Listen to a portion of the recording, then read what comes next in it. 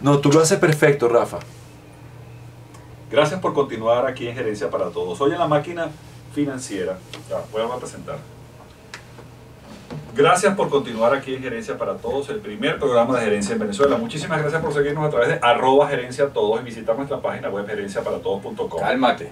Hoy en la página Corriendo uno. Bueno. Pero a mí me gusta, a mí me gusta corriendo, sí.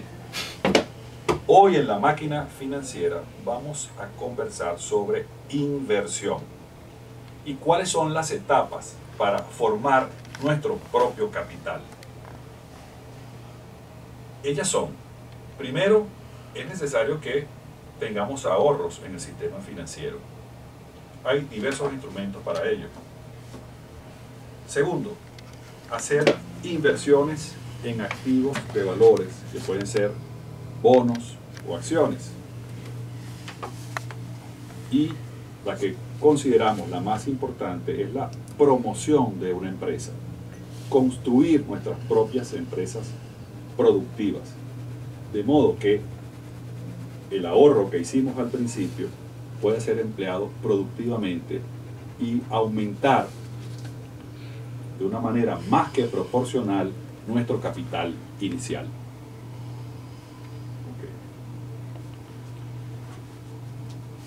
De esta manera podríamos, de- esta manera podríamos decir que hay varios tipos de inversionistas. Por ejemplo, el ahorrador, que es la persona que se encuentra en la etapa inicial de la formación de un determinado capital. Después tenemos al inversor, no, inversor no. Después tenemos al inversionista principiante, es aquel que está sembrando esas semillas en la construcción de un determinado capital, por ejemplo, con una pequeña empresa. Podemos mencionar también al inversionista emprendedor, que con un capital un poco más grande se dedica a la promoción de una o más empresas.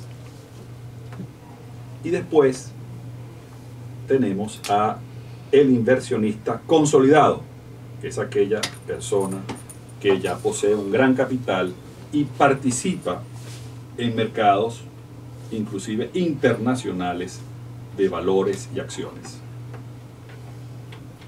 ¿Cuánto llevo hoy?